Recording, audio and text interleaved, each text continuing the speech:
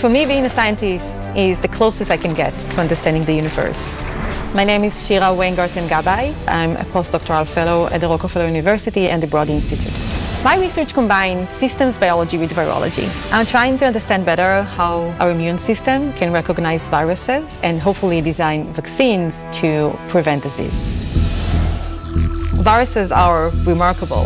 Their genomes is 10,000 fold smaller than our genomes, yet they manage to somehow take over the cell and defeat our sophisticated immune system. How they do that is one of the most intriguing questions in biology.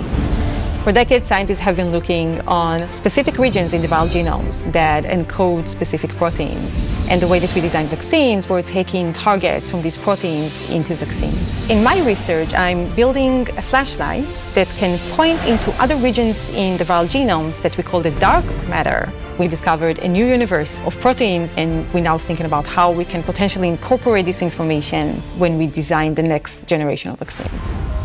We cannot afford ourselves to start researching the virus once it's caused an outbreak.